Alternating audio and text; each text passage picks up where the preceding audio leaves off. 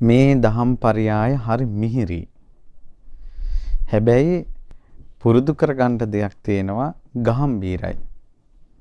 ඒ විදිහට ධර්මයේ පුරුදු කරන කෙනාට අමා මහ නිවන අවබෝධ කිරීම පිණිස භූමිය සකස් වෙනවා. ඒ කියන්නේ ගොඩාක් අය ධර්මය අවබෝධ කරන්නට ආරම්භ කරනවා. විරවීරිය දරන්න උත්සාහ කරනවා කාලයක් කරගෙන යන්න බෑ. කරගෙන යන්න බැරි එයාට ඊට අදාළ සුදුසුකම් නැති නිසා. ඉතින් ඔන්න දැන් සාමාන්‍යයෙන් යම් වැඩකට ගිහිල්ලා තේරෙන්නේ නැති කෙනෙකුට තේරෙනවා වගේ වැඩේ කරන්න ගිහිල්ලා එහෙට මෙහෙට දුවලා පැනලා තේරෙනවා වගේ කරයි. නමුත් ඒ හැටි කාලයක් බෑ. එයා කොහොම හරි වැටෙනවා.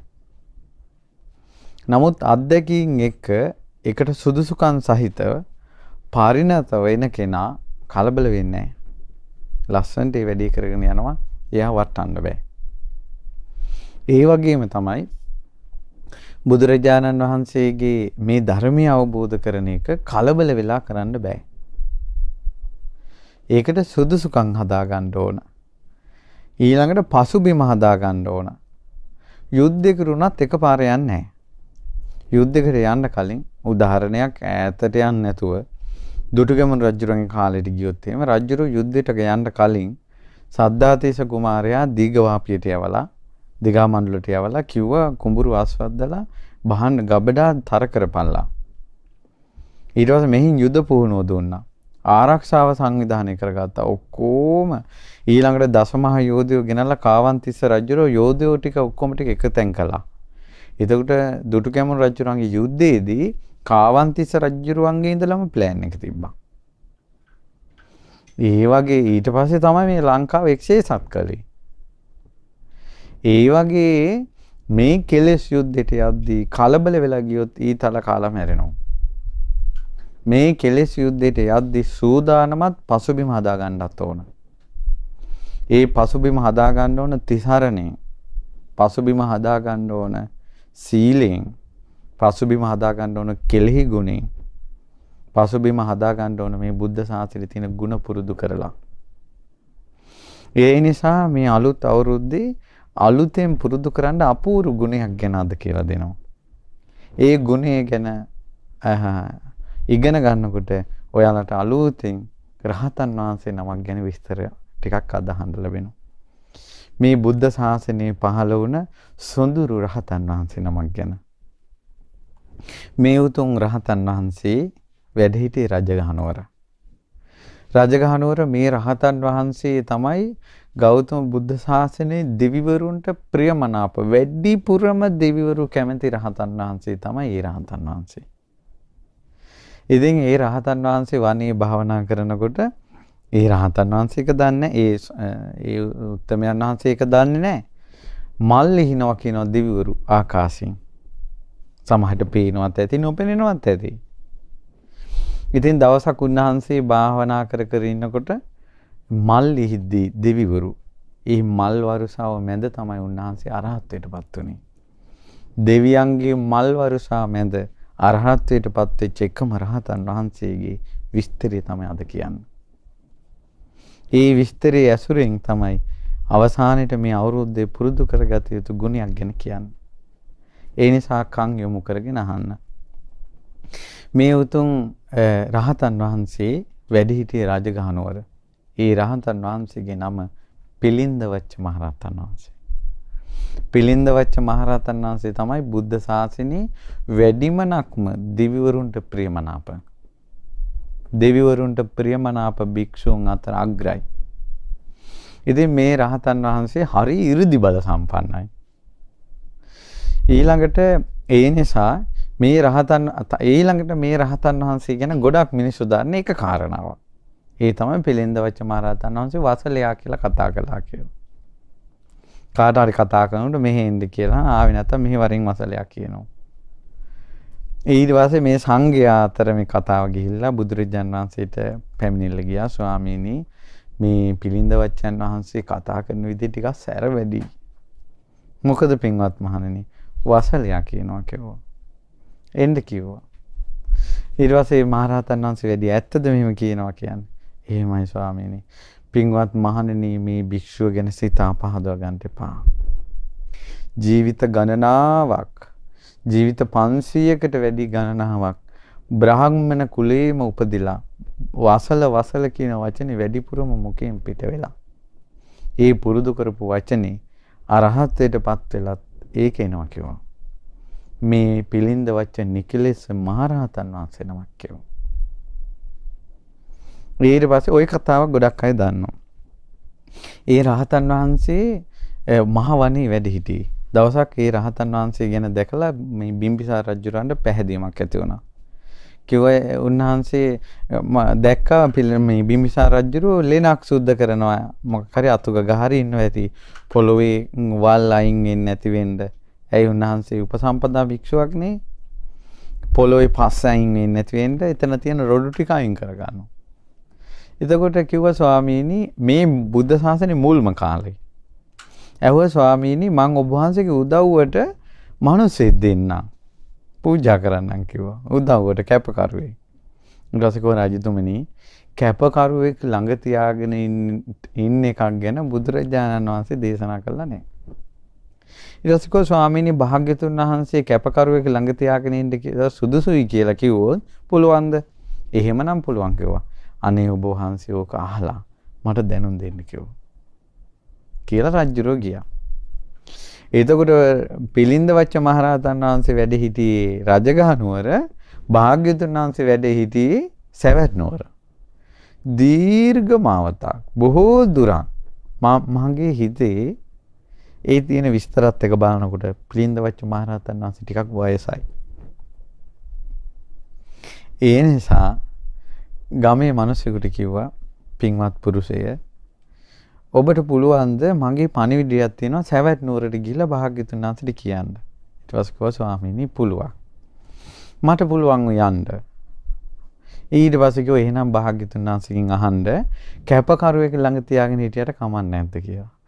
මේ බලන්න මේ රහතන් වහන්සේලාගේ ජීවිත රහත් වෙලානේ. ඒක අහන්න සැවැත් නුවරට යවපන්නේ මිනිස්සෙක්. මේ අරහත්ත්වයට පත් වුණාටත් පස්සේ සීලයට තියෙන ගෞරවේ. ඒ කර යුතු දේ කරලානේ. මේ භාග්‍යතුන් වහන්සේ කියලා නැත්තම් ඒ වාගේ දෙයක් කරන්නේ රහතන් වහන්සේලා. පුදුම රහතන් වහන්සේලාගේ ජීවිත. ඕන්න දැන් ආර්ය රජගහනුවර ඉඳලා සෑවැත් නුවරට ගිහිල්ලා භාග්‍යතුන් වහන්සේට දූත පණිවිඩයක් ගියේ. බුදුරජාණන් වහන්සේ වදාලා කැපකරුවෙක් ළඟ තියාගෙන හිටියට කම නෑ. ඔන්න ඇවිල්ලා රහතන් වහන්සේට කිව්වා ස්වාමීනි කැපකරුවෙක් ළඟ තියාගෙන හිටිය කමද ඔකට මාස ගාණක් යන්න ඇති. ඊට පස්සේ රහතන් වහන්සේ රජුරවන්ට පණිවිඩයක් කියවුවා. භාග්‍යතුන් වහන්සේ කැපකරුවෙක් ළඟ තියාගෙන ඉන්න කමන්නේ ආරාමිකෙක් ළඟ තියාගෙන හිටියට කමන්නේ කියලා අනුදැනුවත් දාලා කියනවා. රජුරවන්ට ඔය වැඩත් එක කමතක වුණා. දවසක් එකපාරම රජුරවන්ට රාජ සභාවෙදී අරක මතක් වුණා. මතක් වෙලා රජ්ජුරෝ ඇහුවා රජතුමාගේ දින නියම කරන ඇමැතියෙක් ඉන්නවා. ඒ කැලෙන්ඩර් නෑනේ. දින දවස් ගණන් කරන එක්කෙනෙක්. ඒ ඇමැතියට කතා කරලා කිව්වා ඊළඟ රජතුමාගේ රාජ කටයුතු මතක තියාගෙන ඉන්න ඇමති කෙනෙක් කිව්වා. ඇමතියට කිව්වා ඇමතිතුමනි අපි අර පිළිඳ වච්චන් වහන්සේට ආරාමිකෙක් දෙන්න පොරොන්දු වුණා නේද? එහෙමයි රජතුමනි. දැන් දවස් කීයක් ගත වෙලාද හැවුවා. අරයා ගණන් හැදුවා. දවස් 500ක් ගිහිල්ලා. ඒ කියන්නේ අවුරුදු එකහමාරකට වැඩි. රජ්ජුරුවන් අමතක වෙලා. ඉතින් ඊට පස්සේ කිව්වා මේක නම් හා හොඳ නෑ මං වගේ කෙනෙකුට කියලා ඒ නිසා ආරාමිකව 500ක් දුන්නා. කියන්නේ වැඩ කටයුතු කරන්න එක්කෙනාට 500ක් දුන්නා. ඉතින් අර ස්වාමීන් වහන්සේ ඉන්න කන්ද වටේට අර අය ඉතින් පැල් කෙටි ගහගෙන දැන් අර ස්වාමීන් වහන්සේට උපස්ථානේ. අර ගමට නම වැටුණා. ගමක් හැදුනානේ. පිලින්ද වච්ච ග්‍රාම කියලා. දැන් ඔන්න උපස්ථාන ඒ ගමේ තමයි පින්දපාතේ වඩින්නේ. උන්වහන්සේ දවසක් ගමට වඩිනකොට ගමේ මිනිසෙක් වෙනදාම ඇවිල්ලා. මම හිතේ ඒකේ පිලි හරි තාල හරි මොන හරි ඉතින් වෙනදාන් යන්නේ. මේ රහතන් වහන්සේ නිකමට ඇහුවා මොනවද ඔය කියලා. ඊට පස්සේ මූ ඇහුන්නේ නැහැ වගේ ගියා. කව වසලයා මොකද්ද බං ඔගේ තියෙන්නේ කියලා. තරහා ගියා. තියෙනවා මේකේ මී බෙටි කිව්වා. එසේම වේවා පින්වත කිව්වා. දැන් අර මිනිස්සයා ගිහිල්ලා අර තිප්පිලියන මට මතක නෑ තලහරි විකුණන්න හදනකොට ඇතුලේ තියෙන්නේ මේ බෙටි. ඒ රහතන් වහන්සේගේ වෙන ඉරිදියක් තියෙනවා. ඊට පස්සේ ආය අර මිනිස්සයා දුවගෙන ඇවිල්ලා ස්වාමීනි ඒව නෙවෙයි මේකේ තියෙන්නේ තල. ඉතින් වේවා පින්වත කිව්වා. ආය තල. ඊට පස්සේ උන්වහන්සේ පින්ඩ පාත ගමට වඩිනකොට ගමේ පුංචි ළමයි කඳනවා. ඊට පස්සේ ඇහුවා ඇයි මේ අඬන්නේ? ඊට පස්සේ කිව්වා අඬන්නේ මේ මාල රත්තරන් මාලවල් විකුණාගෙන කදාවල් වරගෙන මිනිස්සෙක් ගියා. ස්වාමීනි මේ කෙල්ල ඉල්ලනවා දුප්පත් අපිට රත්තරන් මාල කොහෙන්ද? කෙල්ල ඉකි ගගහ අර ඉක්කා වැටි වැටි අඬනවා. රහතන් වහන්සේ පාත්තරේ පැත්තකින් තියලා ඒ ළඟ තිබ්බ දිරපු ලණුවක් අරගෙන ඒ ලණුව මෙහෙම ගැට ගහලා කෙල්ලට දුන්නා මේක කරේ දාගන්න කියලා. අර කෙල්ල පිරිත් නූලක් හම්බුනා වගේ කරේ දාගත්තා. කරේ දාගත්ත ගමන් රත්තරම් මාලයක් වුණා. ඉරදීන් කෙල්ලට ලෝකයක් නෑ ගම වටේ දුවනවා. ඊට පස්සේ මොකද උනේ? ගමේ මිනිස්සු කල්පනා කළා මේකිට කොහින්ද මේක? ඕන් එහෙනම් අද කාලේ තියෙන පුරස්න ඒ කාලෙත් තිබ්බා. රහතන් වහන්සේලා ගෙදෙට්ට පින්න පාතේ වඩින්නේ. ඒ වුණාට ඉරිසියාව. මේකිට කොහින්ද මේක? ඉරිසියාව. ඊට පස්සේ මොකද උනේ? රජතුමාට පැමිණිලි කළා රජ්ජුරුවන්ගේ මාලිගාවෙන් මේ පොඩි මේ මේ පවුලේ අය මාලයක් හොරකම් කළා. රජ්ජුරුව ඒ මේ පැමිණිල්ල විභාග කරන්න ඒ පිරිස ඔක්කොම ගෙන්නවා. හැබෑවටම බලනකොට මෙහිම රත්තරන් මාලයක් සාමාන්‍ය මිනිස්සුෙකුට හොයාගන්න නැහැ. ඇයි හිතන්නකෝ අර පොඩි ලණුවක් සම්පූර්ණයෙන්ම රත්තරන් වුණා කියනකොට. ඊට පස්සේ මොකද උනේ? රාජ්‍යරුව හිරියට දැම්මා. අර පවුල පිරිස. දැන් රහතන් වහන්සේ පහෝදා පින්ඩ පාතේනකොට අර ගෙදර වහලා. මිනිසුන් එහව මේ ගෙදර මිනිස්සු කෝ ඊට පස්සේ කෝ අනේ ස්වාමීනි මේක පුදුම වැඩක්. බලන්න ඔබ වහන්සේලාට දම් බෙද බෙදානේ මුන් හොරකම් කරන්න. රජුරන්ගේ මාලිගාවෙන් චේන් එකක් හොරකම් කළා කිව්වා. ඊට පස්සේ රහතන් වහන්සේට තේරුණා. උන්වහන්සේ පින්ඩ පාතේ වැඩලා ඉවරලා දානි වළඳලා රජ මාලිගාවට ගියා. රජුරෝ ස්වාමීනි මොකද මෙයා වේලාවේ?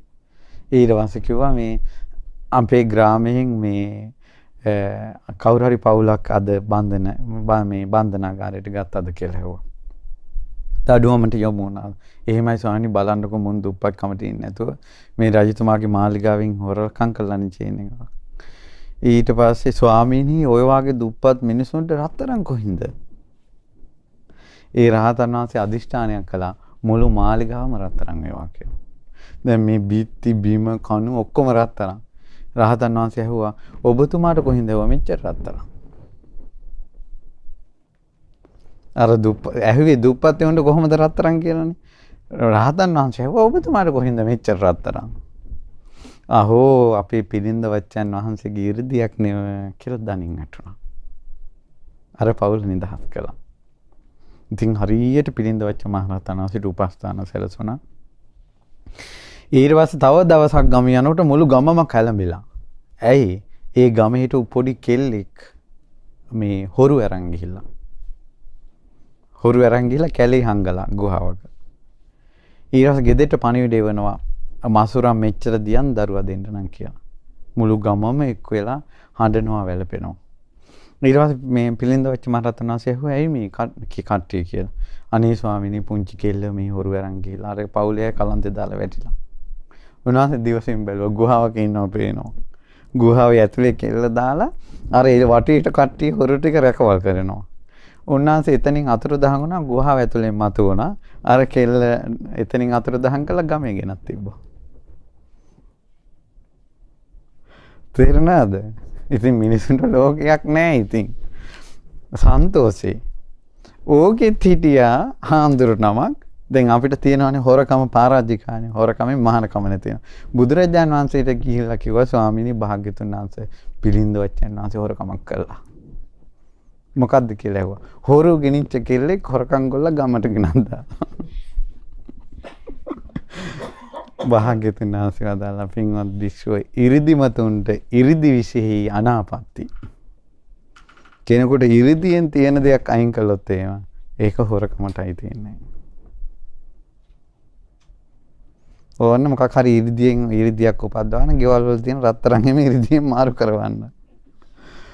ඉතින් ඉරිදි ඉරිදියන් ඉරිදිමතුන්ට ඉරිදි විශේෂ අනාපත්ති. මම කියන්න ගියේ ඒ පිළිඳ වච්ච මහරහතන් වහන්සේට තමයි දිවිවරු ගොඩාක් කැමති. ගොඩාක් ආදරේ. රාජ්‍ය රාජ්‍ය මහා මාත්‍යවරු සහ මිනිස්සු ගොඩාක් ආදරේ. හැබැයි පිළිඳ වච්ච මහරහතන් වහන්සේට තමයි ගොඩාක් ලෙඩ හැදිලා තියෙන්නේ. ගොඩාක් අසනීප තිබ්බා. ඔළුව කැක්කොම් වගේ. එතකොට පින්වත්නි දිවිවරු ගොඩාක් කැමති වුණා. මිනිස්සු ගොඩාක් කැමති වුණත් ඒසා ඉරිදි සම්පන්න වුණත් ලෙඩ වෙන සත්වයා ලෙඩ වෙනවා. දැන් ගොඩාක් අයට තියෙන ප්‍රශ්නනේ මෙච්චර පින් කරනවා අපි මෙච්චර කුසල් කරනවා බණක් භාවනාවක් කරනවා මේ අපි ඇයි අප්පා මෙච්චර ලෙඩ වෙන්නේ කියලා මිනිස්සු කන් කෙන්දිරි ගෑවෙනාවක් තියෙනවනේ. ඒ රහතන් වහන්සේලාගේ ජීවිත දිහා බලන්න. මේ බුද්ධ ශාසනයේ ඉච්චරම දෙවිවරු පිරිවරාගත්ත වෙනත් රහතන් වහන්සේ නමක් නැහැ. එච්චරම දිවිවරු පිරිවරා ගන්න උන්වහන්සේ. එහෙව් රහතන් වහන්සේ ඔළුවේ කැක්කුමෙන් පීඩා වින්දා. හැබැයි ඒක කායික වේදනාවක්. මානසික වේදනාවක් නෙවෙයි. පැහැදිලි නේද? උන්වහන්සේට එච්චර දෙවිවරු කැමතියි. මේ පිළිඳ වච්ච මහරහතන් වහන්සේ අතීත සසරේ සක්විති රජ කෙනෙක්. ඒ සක්විති රජුරෝ බොහෝ දෙනාට කුසල් ගැන කියලා දුන්නා. බොහෝ දෙනා ධර්මයේ පිහිටෙව්වා. ඒ සක්විති රජුරුවන්ගේ මාර්ගයෙන් උපකාරයෙන් ඒ මුළු රාජධානියම මුළු ජම්බුද්දීපේම පිරිස කුසල් වැඩුවා. ඒ පිරිස කය බිඳලා මරණින් මත්තේ ඉපදුනේ දෙව්ලොව. කොච්චරද කියනවා නම් පිළින්ද වච්චයන් වහන්සේ රජගහනුවර ඉපදිලා බුදුරජාණන් වහන්සේ ළඟ මහාන වෙලා අරහත්ත්වයටපත් වෙලා උන්වහන්සේ අතීතයේ සක්විත රජ වෙලා උන්වහන්සේ නිසා දෙව්ලොව ගියයි තවමත් දෙව්ලොව. එච්චරම දෙව්ලොව. දිව්‍ය ලෝකේ වැඩි හරියක්ම දෙවිවරු ඉන්නේ පිළින්ද වච්චයන් වහන්සේ නිසා සක්විත රජකම ඉද්දින් උන්වහන්සේ නිසා දෙව්ලොව ගියාය. කියන්නේ ඒ වෙනකොට භාග්‍යතුන් වහන්සේ භාග්‍යතුන් වහන්සේ පහළ වෙන කාලේ වෙනකොට. පැහැදිලි නේද මම කියන එක. ඒ නිසා තමයි වැඩිමනක් අය මේ මේ පිරෙන්ද වච්ච මහරහතන් වහන්සේට ප්‍රියමනාප තමන්ගේ ගුරුවරයා කියලා. මා අපිට සුගති යන්ට මඟ කියපු ගුරුවරයා කියලා. කොච්චර උන්වහන්සේට ගෞරවයිද කියලා කියනවා නම් අර උන්වහන්සේ මේ මාවතේ වඩිනකොට මල් ලිහිනවා කියනවා. භාවනා කරනකොට මල් ලිහිනවා කියනවා. උපස්ථානෙට සැදී පැහැදී ඉන්නේ අපේ ගුරුවරයා කියලා. නමුත් දෙවියන්ගේ ජීවිතේ මනස ජීවිතෙත් එක බලනකොට උසස් නෙයි. නමුත් ගුරුවරයා ඉදිරියේ ගුරුවරයා ඉදිරියේ කොහොමද සුගතිය යන්ට මඟ කිව්වා කියලා. ඊට පස්සේ ඒ පිළිඳ වච්ච මහරහතන් වහන්සේ දෙවියන්ට ධර්මයේ දේශනා කළා ඊර්ෂ්‍යාව කරන්න එපා කියලා. පිළිඳ වච්ච මහරහතන් වහන්සේ දෙවියන්ට දහම් දේශනා කළා ක්‍රෝධය හිතේ පවත්තන්න එපා කියලා. පිළිඳ වච්ච මහරහතන් වහන්සේ දෙවියන්ට දහම් දේශනා කළා උපේක්ෂාවෙන් වාසය කරන්න කියලා. ඉතින් ඒ ධර්මයේ පුරුදු කරලා දෙවිවරු උන්වහන්සේගෙන් ධර්මය ඇහුවා දෙවිවරු. බොහෝ දෙවිවරු බුද්ධ ශාසනය මඟපල් ලැබුවා පිළිඳවච්ච මහරහතන් වහන්සේ නිසා. ඊට පස්සේ පිළිඳවච්ච මහරහතන් වහන්සේ දෙවිවරුන්ට ධර්මය දේශනා කළා. පින්වත් දෙවිවරුනි ශෝක කරන්ට කළ යුතු තැන ශෝක නොකර ඉන්න හිත වඩන්න කියලා.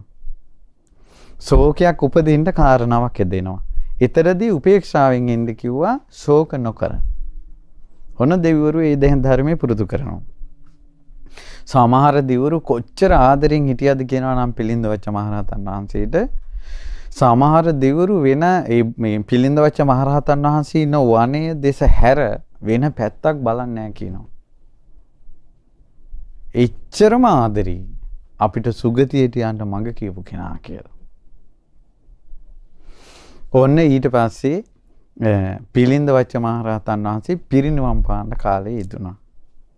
උන්වහන්සේ පිරිනිවම් පාන්න කාලේ යෙදුනට පස්සේ ඔන්න ආරංචි වුණා දිව්‍ය ලෝකේ කැළඹිලා ගියා. පිළින්ද වච්චන් වහන්සේ පිරිනිවම් පාන්න යනවා කියලා. රජගහ නුවරේ පර්වතයේ සිසාරා හාත්පස සිසාරා යදුන් ගණනාවක් දිවුරු පිරුණා. එතකොට වෙනත් රහතන් වහන්සේලා දිහා බලන්නේ නැතුව උන්වහන්සේ දිහාම බලාගෙන ගුරුවරයා කිය කිය කියා සිහි කර කර ගුණ සිහි කර කර හිටපු අර දෙවිවරුන්ට ඒ උතුම් රහතන් වහන්සේ පිරිනවම් පාන්න යනවා කියනට කොහොම දරා ගන්නද? එතන දෙවිවරු කතා වුණා. අපේ ආචාර්යයන් වහන්සේ අපිට කිව්වේ ශෝක කළ යුතු තැන ශෝක කරන්න එපා කියලා. දැන් අපේ ආචාර්යන් වහන්සේ පිරිනවම් පාන්න යනවා.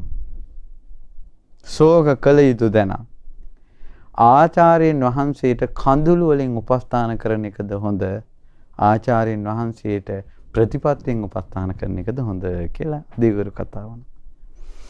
සත්පුරුෂ දෙවිවරු ඒක කෝලාහල කළා කිව්වා. අපේ ආචාර්යන් වහන්සේට ප්‍රතිපත්තියෙන් උපස්ථාන කරමු කියලා අත් දෙක එකතු කරගෙන වැඳගෙන උන්වහන්සේගේ දේහය දිහා බලා හිටියා. ඒ උත්තමයන් වහන්සේ නිසල ශරීරයෙන් පිරිනවම් පෑවා. හිත දැඩි කරගෙන හිටියා ශෝකයක් උපද්දවන්නේ කියලා. පිරිනවම් පාන වෙලාවේ. කොහොමද රහතන් වහන්සේලාට කරපු උපස්ථාන? අහෝ ඒ යුගය ඉවරයි. ආචාර්යින් වහන්සේට ප්‍රතිපත්තියෙන් උපස්ථාන කළා. ඊට පස්සේ සමහර දිවුරු කතා කළා කියනවා තමන්ගේ ලක්ෂ ගණන් අන්තපුරේට මෙහි වරෙලා කියලා. මාගේ ආචාර්යින් වහන්සේ දේශ බලාපල්ලා. දැන් අර ලක්ෂ ගණන් අන්තපුරේ ආචාර්යින් වහන්සේ දේශ බලනවා. ඊට පස්සේ උන්වහන්සේ පිරිනොම් පෑවා. පිරිනොම් පෑවපු ගමන් අර දිවිවරු තමයි එක සම එක දිවි කෙනෙක් ගැන විස්තර තියෙනවා. ඒ දෙවියා කියලා තියෙනවා. ඒ තමන්ගේ අන්තපුරේ බිසවරුන්ට බලාපල්ලා. උඹලා දැන් මගේ ආචාර්යින් වහන්සේ දේශ බලා හිටියා. මමද මාගේ ආචාර්යින් වහන්සේ දේශ බලා හිටියා. මගේ ආචාර්යින් වහන්සේ දේශ බලපු ඔය ඇස් වලින් උඹලා කවදාවත් රාගෙන් මා දේශ බලන්න එපා මගේ ආචාර්යන් වහන්සේට උපස්ථාන කරපල්ලා. මගේ ආචාර්යන් වහන්සේ දේශ බලපු මගේ ඇස් වලින් උඹලා දිහා මං රාගයෙන් බැලුවොත් මගේ ඇස් පුපුරා යන්නවා. කොහොමද ගුරු ගෞරවයි? බලාපල්ලා මාගේ ආචාර්යන් වහන්සේ ගැන හිත හිතා මේ වැඩ කරන මගේ හදවත දිහා. ඒ හදවතින් ස්ත්‍රියක් ගැන මා සිතුවොත් මාගේ හදවත පුපුරා යත්තා. මාගේ ආචාර්යන් වහන්සේට උපස්ථාන කරපු මේ අත්වලින් මාගේ ආචාර්යන් වහන්සේට මේ දේහයට මල් දමපු මේ අත්වලින් මම උඹලා උඹලාගේ ශරීරයේ ස්පර්ශ කළොත් මාගේ අත් දෙක පුපුරා යත්තා. කොහොමද? ගුරුවරුන්ට ඒ වගේ සලකපු කාලේ තමයි මාර්ගඵලලාවෙන් බිහිවුනේ.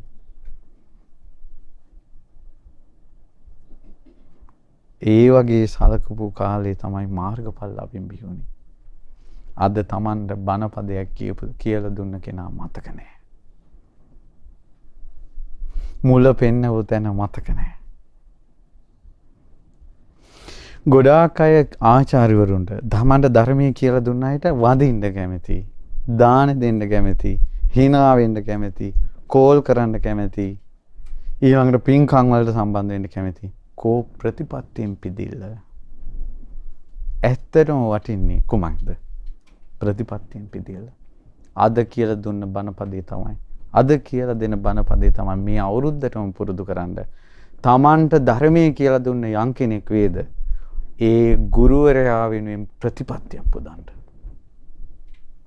අමාරුම එකක් කරන්න. අමාරුම එකක් කරනවා ගුරුවරයා වෙනුවෙන්. තමන්ට ධර්මය කියලා දුන්න. ඒ සක්විති රජ කෙනෙක් වෙලා පංචශීල ප්‍රතිපදාව ගැන කියලා දුන්න. ගෞරවය තමයි තවම තිබ්බේ. අපිට ගත්තොත් අපේ ජීවිතය අපි පන්සිල්වත් දැනගෙන හිටියේ නෑ. මට අද මේ ධර්ම දේශනාවේදී පන්සිල් දෙනකොට සිංහලෙන් කියන්නේ පානාතිපාතා කියන්නේ නැතුම් සතුම් මැරීමෙන්. අපේ ලොකු ස්වාමීන් වහන්සේ ඒවා පවා සිංහලයට ගත්තේ මිනිසුන්ට තේරෙන්නේ නැහැ. පානාතිපාතා කියනකොට අර කොල්ලෝ නමස්තේ නමස්තේ කියලා හින්දි සින්දු කියනවා වගේ. තේරුමත් තේරිලා නෙවෙයි. ඒ වගේ තමයි පානාතිපාතා වේරමණී කිව්වා. බීඩිය බොන ගමන් සුරාමේරය මජ්ජපමා කිව්වා. බොරු කියන ගමන් මේ මුසාවාදා කියලා කිව්වා. ඊළඟට තවත් ගෑණියෙක් ළඟට යන ගමන් මේ පන්සලට ගොඩ වෙලා කාමේසු මිච්ඡාචාරා කිව්වා. ඊළඟට අදින්නා දානා වීරමණී කියලා මේ පන්සලේ කියලා එන ගමන් පන්සලේ තියෙන මල් ගහ උදුරාගෙන ආවා. කොහොම යුගයක් අතීතේ තිබ්බා. මොකක්වත් දන්නේ නැහැ. මිනිසුත් කිව්වා මද පමණින් බිව්වට කමන්නේ ඊළඟට මිනිස්සු එක එක දේවල් කාමයේ සුමිච්ඡාදාර කියන්නේ කයෙන් විතරක් නෙවෙයි ඇස් වලිනුත් කාමී හැසිරෙන්න පුළුවන් කිව්වා. මේ විදිහට নানা ප්‍රකාර වෛවාරණ විදිහට සිල් විස්තර කළා. ඊට පස්සේ කොහොම හාල් මැස්සෙක් කෑවත් ප්‍රාණඝාතය කැඩෙනවා කිව්වා. කරවල කෑල්ලක් කෑවත් ප්‍රාණඝාතය කැඩෙනවා කිව්වා. සොසේජස් කෑවොත් ප්‍රාණඝාතය කැඩෙනවා කිව්වා. මේ විදිහට එක එක විදිහට බණ කියාගෙන ගියා. මිනිස්සුත් එක එක විදිහට හැදුනා. ඊට පස්සේ විනය වර්ධන පරපුර කියලා එහින් එකක් බිහිවුණා. ඊට පස්සේ එක එක්කෙනා පහම් පූජාවල් කළා එහින් බිහිවුණා. මේ විදිහට තිබ්බ යුගයක තමයි පිරිසිදු බුද්ධ වචනේ කියපු කෙනෙක් පහළ වුණේ. ඒ හඬ හැම තැනම පැතිරිලා ගියා. ඊළඟට මිනිසුන්ට තේරෙන භාෂාවෙන් බුදු කෙනෙක් ගැන සිත පහදව ගන්න. දහම් මාර්ගය ගැන සිත පහදව ගන්න ධර්මයේ පරිවර්තනය කළා. හැම එකක්ම කියලා දුන්නා. මට මතකයි මුලින් බුද්ධං සරණං ගච්ඡාමි කියන මම දිවි තිබෙන තුරු බුදුරජාණන් වහන්සේ සරණ යමි කියලා කටින් කියෙව්වා. එතකොටයි අපි දන්නේ සරණක් ගැන. පංචශීලයේ නිතර නිතර සිංහලෙන් කියනකොටයි දන්නේ මේවා රකින්න ඕන කියලා. චෛත්‍යයකට බෝධියකට වඳින්න පුරුදු වෙලා හිටියේ නෑ. චෛත්‍යයට මෙහෙමයි වඳින්නේ, බෝධියට මෙහෙමයි වඳින්නේ, ධාතුන් වහන්සේලා වැඩ ඉන්නේ මෙහෙමයි. මට මතකයි ඉස්සර දවසක් රුවන්වැලි සෑයෙන් බැහැලා එනකොට කොල්ල කුරුට්ටු ටිකක් කතා වෙනවා. එක කොල්ලෙක් ඇහුවා මොකද්ද බං ලෝවාමා ප්‍රාසාදය කියන්නේ කියලා. අනිත් කොල්ලා කිව්වා ලෝකේ තියෙන ලොකුම අපාය එක කියලා. ළඟදි දවසක අපි කිරිවිහිර වැඳලා එනකොට ළමයි ටිකක් කතා වෙනවා. එක අම්මා ඇහුවා පුතාලා මට මතක හිටිය අම්මා දරුවන්ගෙන් ඇහුවේ පුතාලා දන්නවද සෙල්ල කතරගම මොනවද තියෙන්නේ කියලා පොඩි උන් ටික ගත් කට්ටම කිව්වා සෙල්ලම් බඩු කිව්වා. එතකොට මට මතක් වුණා අතීතේ. ඕක නම් පොඩි දෙයක්. අතීතේ රුවන්වැලි සෑයේ මොනවද තියෙන්නේ කියලා දන්නේ නැහැ. පැය ගණන් වරු ගණන් රෑ එළි වෙනකල් රුවන්වැලි සෑය ගැන මිනිසුන්ට කියලා දෙන්න උනා. ජයසිරි මහ බෝධින් වහන්සේ ගැන කියලා දෙන්න උනා. ධාතුන් වහන්සේලා ගැන කියලා දෙන්න උනා. දාන බෙදෙන හැටි කියලා දෙන්න උනා. දානෙ ගිහිල්ලා දෙන හැටි කියලා දෙන්න උනා. හැම එකක්ම පුරුදු කළා. ඊළඟට උදේ ඉඳලා හැන්ද වෙනකල් බණ අහන්න පුරුදු කළා. මොන දවස් ගණන් බණ හෙලි මොනවද? රෑ එළිනකල් බණ අහන්න පුරුදු කළා. පැයක බනත් බොහොමාරය මිනිස් වහන්නේ දැන් මිනිසුන්ට පැය බණ මන්දී. ඊට පස්සේ මේ නිවන් මාර්ගේ වරද්ද ගන්න එපා. කලබල වෙන්න එපා. මේක ප්‍රතිපදාවක් තේනවා. ඊළඟට අද බුදුරජාණන් වහන්සේගෙන් යුගයෙන් ඈත් වෙලා මිනිස්සු ಗುಣධර්ම වලින් ගොඩාක් මේ ඈත් වෙලා ඒ නිසා ಗುಣධර්ම පුරුදු කරගනින්නලා කියලා මිනිස්සු අතරමං නොවෙන්න මඟ කියලා දුන්නා. ඒ කාලේ රුවන්වැලි සෑය හැදුවා ජයසිරි මහ බෝධිනාථ තිබ්බා කියලා රජවරුන්ගේ යුගයේ සෑය බෝධිය ඉදුනේ කියලා අපි හිතාගෙන ඉන්නකොට අපේ අත්වලින්ම චෛත්‍ය හැදෙන්න සැලැස්සුවා. අපේ ඉදිරියේ බෝධි රෝපණය වුණා. ඒ ඔක්කොම එක්කෙනෙක් නිසා. ඔබට ධර්මයේ කියලා දුන්න කෙනෙක් වේ නම් ඔබට කුසලයට මඟ පෑදූ කෙනෙක් වේ නම් මේ අවුරුද්දේ ඒ ගුරුවරයා වෙනුවෙන් ප්‍රතිපත්තියෙන් පුදන්න. ප්‍රතිපත්තියෙන් පුදන්න. ඒ ගුරුවරුන්ට කරදර එද්දී පාපකාරී ලෝකෙන් අසත්පුරුෂ ලෝකෙන් සත්පුරුෂයන්ට බාධා පැමිණෙද්දී තමා තුළ දියුණු කරපු ගුණයකින් මගේ ගුරුවරයා මට ධර්මයේ කියලා දුන්නේ. නිසා මා තුළ මෙවැනි වූ ගුණයක් මං ගුරුවරයා වෙනුවෙන් පුරුදු කරනවා. ඒක සත්‍යයි. ඒ සත්‍යානුභවයෙන් සත්පුරුෂය සුරකිත්වා කියලා කියන්න නැත්තම් ඒක තමයි ගුරුවරු වෙනුවෙන් තියෙන්නේ. නිකම් මේ ඉන්ටර්නෙට් සෙල්ලම් නෙවෙයි. මේ අවුරුද්දේ සෙල්ලම් කරන්න එපා. මේ ඉන්ටර්නෙට් සෙල්ලම් වැඩක් නැහැ. ප්‍රතිපත්තියෙන් ගුරුම් පුදන්න. ප්‍රතිපත්තියෙන් දැන් මේ මේ වෙනකොට බලන්න අපි අපේ අපිට ධර්මයේ කියලා දුන්න කෙනෙක් වේනා. ඒ ධර්මයේ කියලා දුන්න කෙනා වෙනුවෙන් අපි තුල පුද පුදේ මොනවද කියලා. ගොඩාක් අය කැමති සිවුරක් පූජා කරන්න. එහෙම නැත්නම් මොන හරි දෙයක් භෞතික දේවල්. ඕවමනේ අනිත්‍යයත් කරන්නේ. කසාදයක් බඳිනකොටත් දෙන්නේ ඔය එක එක ඒවා දෑවැද්ද? කසාද බඳිනකොටත් එක එක දේවල් දෙනවා. උපන් දිනෙටත් ඈගි දෙනවා. ගුරුවරු එහෙම ඇසුරු කළ යුතු නැහැ.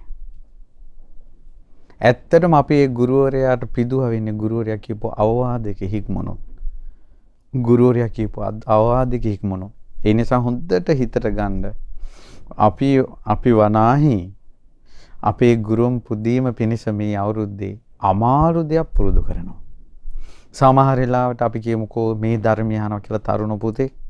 ඒ තරුණ පුතා ෆෝන් වලින් නරක දේවල් වලට අබ්බැහි වෙලා නම් එයා එයා නමුත් එයාට සද්ධාාවක් ඉපදිලා තියෙනවා. එයා ධර්මයට කැමති. එයා පින් කරන්න කැමති. ඒ නිසා එයාට අමාරුයි මේකෙන් මිදෙන්න.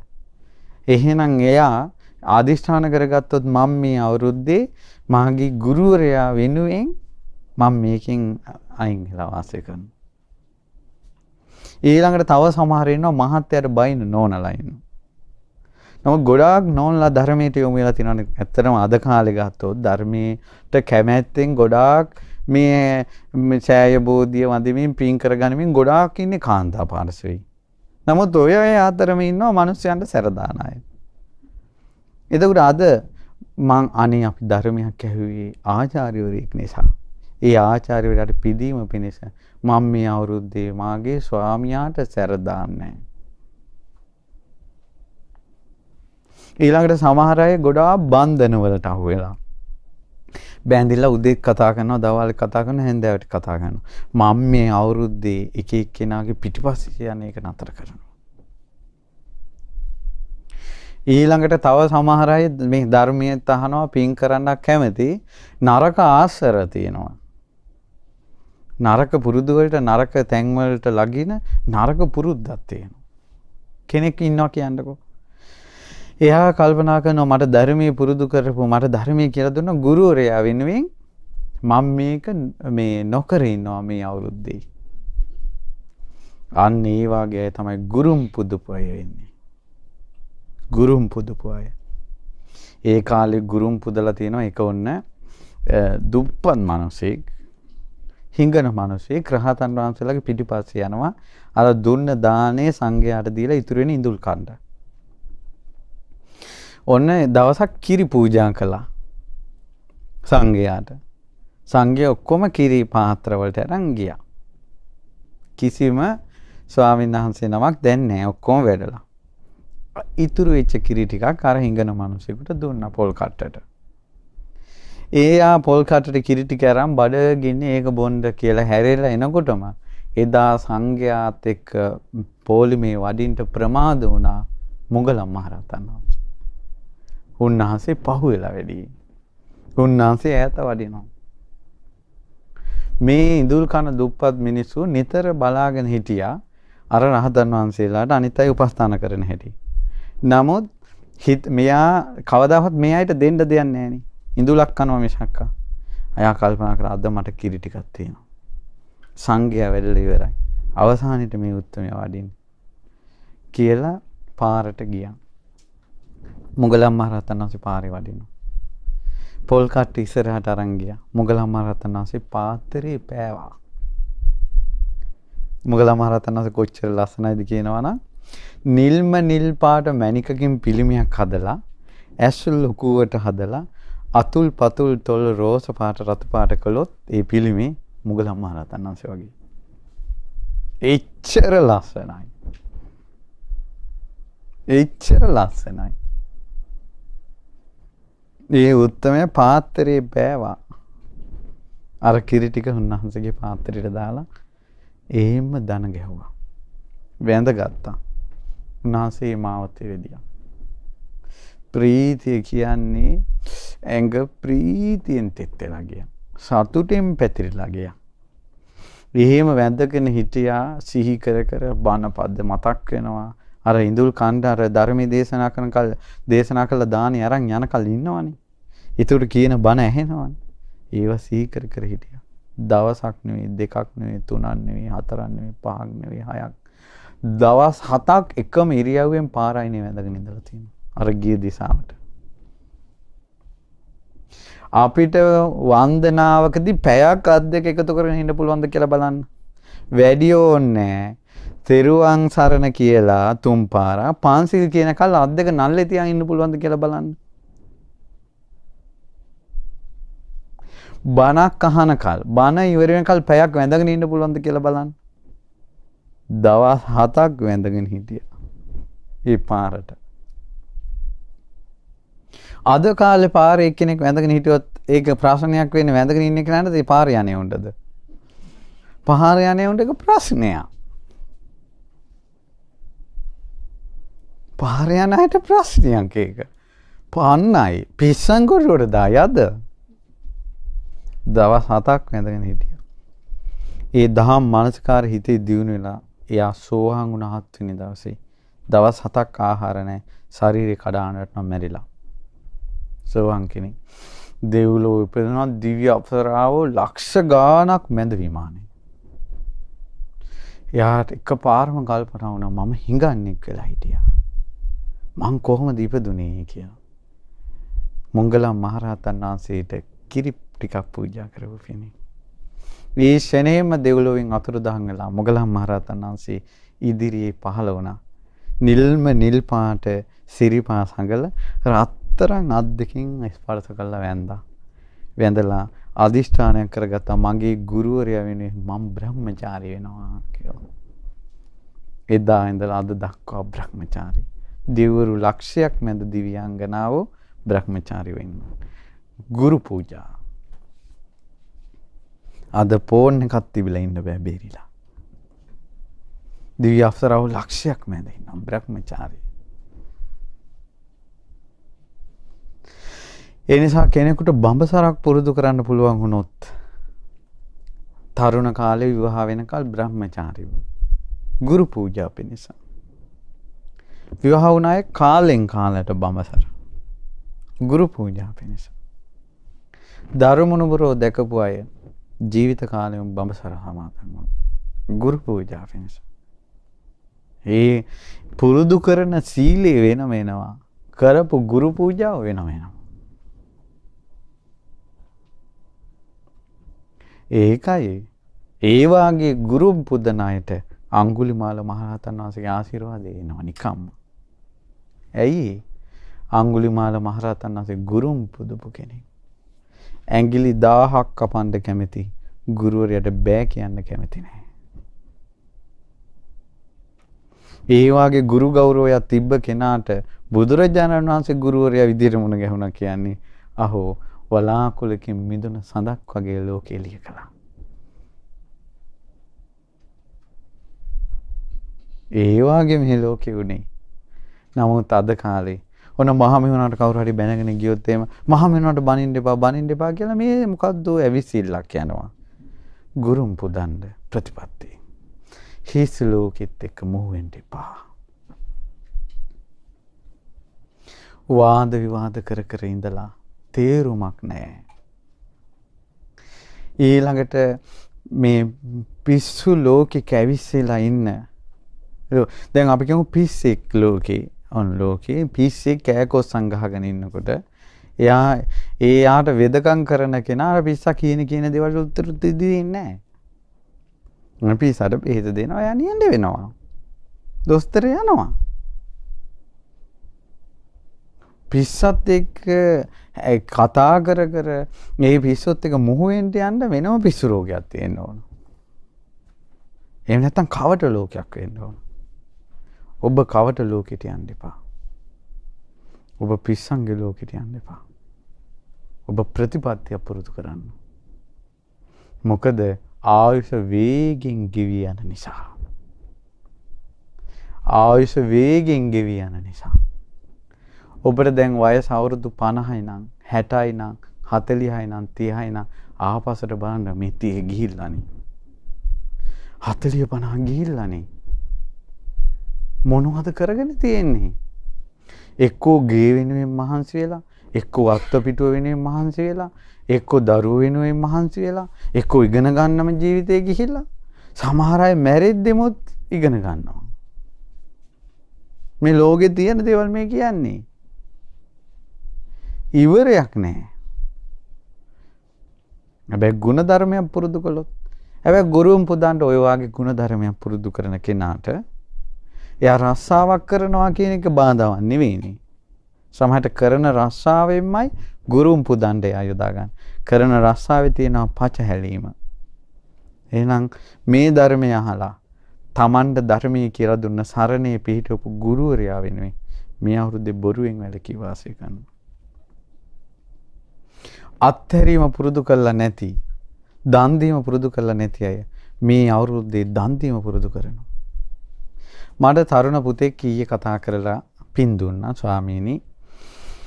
මම මේ අවුරුද්දේ අවුරුදු දෙකක් ඇතුළත මේ සාංගික දාන 100ක් කළා කියලා. ඒ කියන්නේ යා පැම් බෝතලයක් සංඝයාට පූජා කළත් ස්වාමීන් වහන්සේ නමකට සංඝයා උදෙසා පූජා වේවා කියලා පූජා කරන්නේ. එතකොට එක සාංගික දානයක්. කෙසෙල් ඇවරියක් පූජා කළත් බිස්කට් එකක් පූජා කළත් හදපු දානයක් පූජා කළත් සංඝයා උදෙසා කියලා. එතකොට අවුරුද්දට සාංගික දාන 50ක් අර තරුණ පුතා දීලා තියෙනවා. අවුරුද්දට සාංගික දාන 50.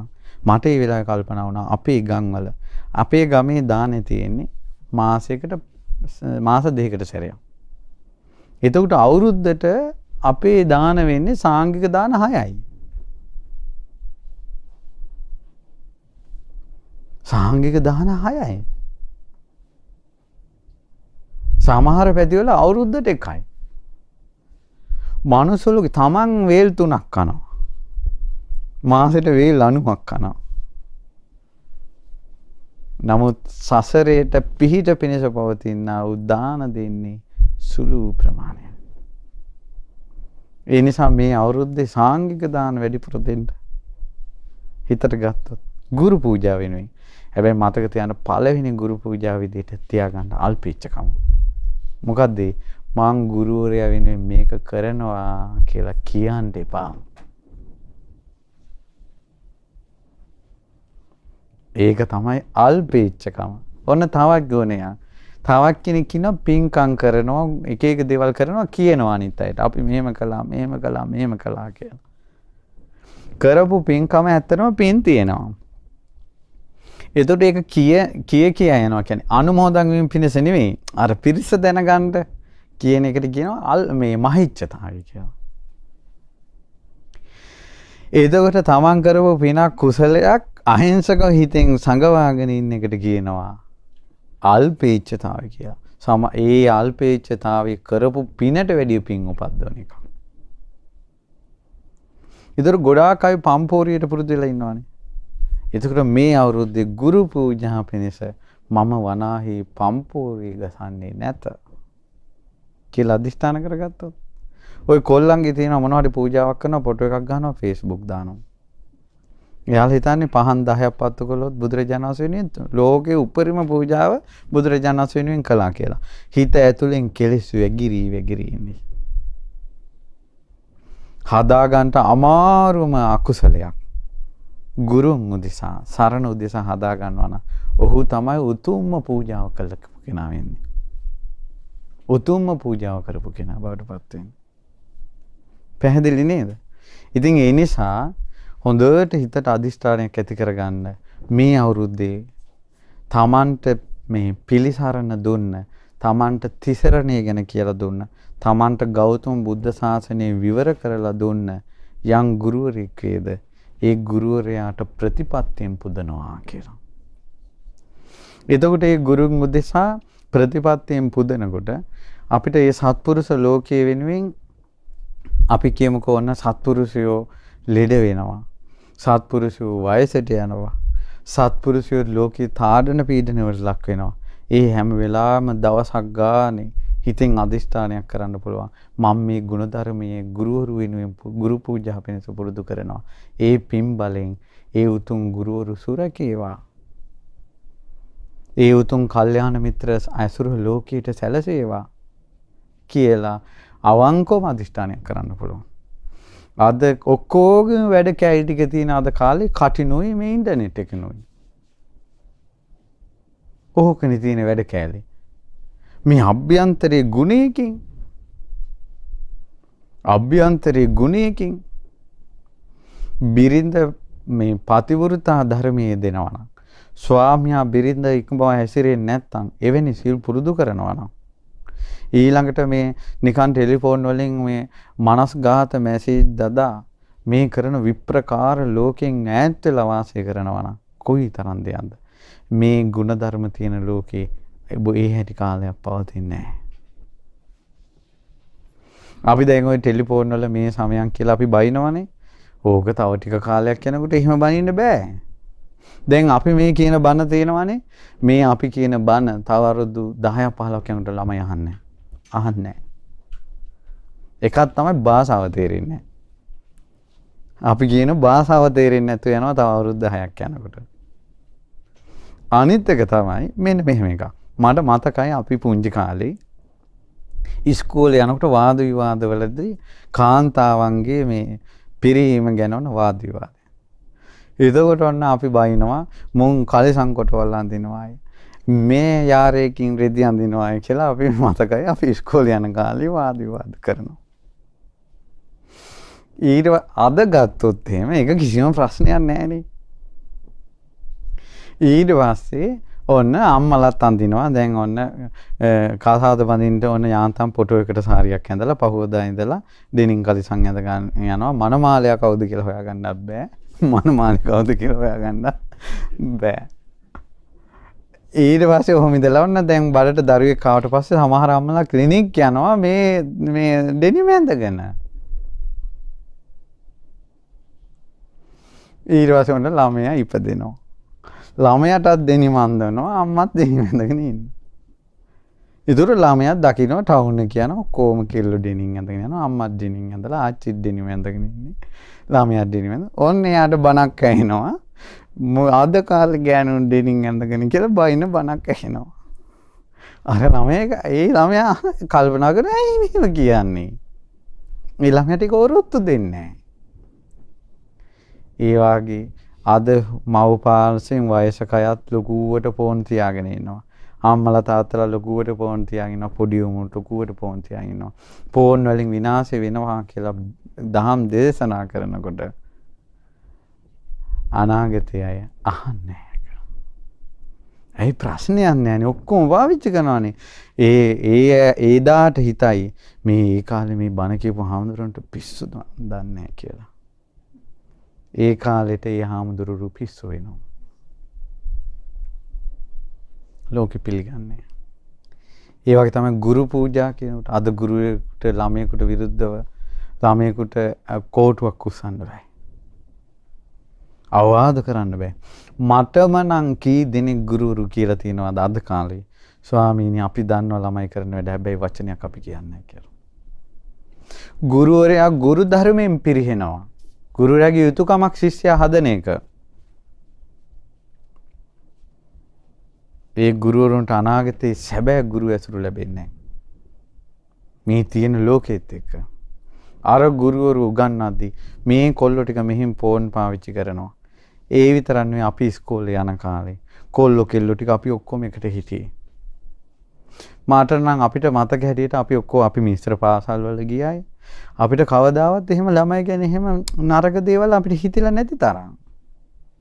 අද කාලේ ළමයි ඇවිල්ලා පාපොච්චාරණය කරනවා. ගුරුවරයා පන්ති උගන්වද්දී කොල්ලෝ කෙල්ලන්ට එක ළඟ ඉන්න බෑ. මේ පමණයි මා කියන්නේ විස්තර වශයෙන් මම හිතන ඔයාලා දන්නවා ඇති කියලා. මෙහෙමත් ලෝකයක්. මේකෙන් ගැලවෙන්න නම් ගුණයක් පුරුදු කරන්න. තමන්ට මේ වගේ ගැලවෙන්න මේවා වැරදි කියලා අහන්න හරි ලැබුණේ ධර්මයේ කියලා දුන්න ගුරුවරයෙක් හම්බෙච්ච නිසා.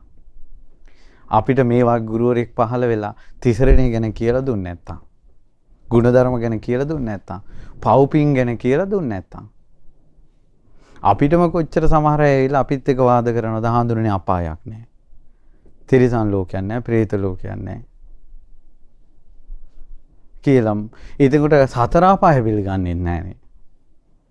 සතර අපාය පිළිගන්නේ නැත්නම් සමහර අය මැරිලා ඉපදෙනවා කියලා පිළිගන්නේ නැහනේ. මැරිලා ඉපදෙනවා කියලා පිළිගන්නේ නැත්නම් කොහොම මොකටද කුසල් කරන්නේ? එයා කොච්චර පව් කරයිද? ආයි ඉපදෙන්නේ නැහනේ. මේ වගේ ලෝකෙකින් අපිව ඇද්දලා ගලව ගත්තේ. අපිට ධර්මයේ කියලා දුන්නේ යම් කෙනෙක් වේ නම් අන්නේ උත්තමය. ඒ උත්තමය වෙනුවෙන් නිකම් මේ රෙදි කෑල්ලකින් ණය ගෙවන්න හදන්න එපා. ප්‍රතිපත්තිය පුරුදු කරන්න. ගුරුම් ප්‍රතිපත්තියෙන් පුදනවා කියන අධිෂ්ඨානය ඇති කරගන්න. ඒක තමයි අද ධර්ම දේශනාවෙන් ඔබට දෙන දහම් පණවිඩිය. එතකොට ගුරුන් ඒ කාලේ ප්‍රතිපත්තියෙන් පුදපු අය තමයි මඟපල ලැබී. ඒ වගේ මානසික මට්ටමක් තිබ්බයි. ඒ නිසා ගුරුන් ප්‍රතිපත්තියෙන් පුදන ධර්මයේ පුරුදු කරන ලාමක දෙයින් උත්තම අය පුදන්නේ නැති. ලෝකෙකදී හම්බ වෙනවා ඔබට උත්තම පුරුෂය ඇසුරු කරපු ධර්මය. ඒ නිසා බුදුරජාණන් වහන්සේ වදාළ පරම පිවිතුරු ශ්‍රී සද්ධර්මය අවබෝධ කර ගැනීම පිණිස ගුරු තමන්ට ධර්මයේ කියලා දුන්න තිසරණේ පිහිටපු තමන් වරදින් ගලවා ගත්තා වූ යම් ආචාර්යවරයෙක් වේද ඒ ආචාර්යවරයාට මම මේ අවුරුද්දේ යම් ප්‍රතිපත්තියකින් පුදනවා කියන අදිෂ්ඨානය ඔබගේ සිත් තුළ පහළ වේවා අපි රැස් කරගත්ත පින් බලේනොත් අද ධර්ම දේශනාවේ පින් බලේනොත් ඔබේ හිතේ ඇති කරගත්ත අදිෂ්ඨානය සඵල කරගන්නට වාසනාව ලැබේවා. ඒ විදිහට පුරුදු කරගන්නා වූ ගුණ ධර්මත් මේ හැසිරෙන ධර්මීය අනුභවයෙන්ුත් සසර දුකින් නිදහස් වීමේ වාසනාව උදා වේවා.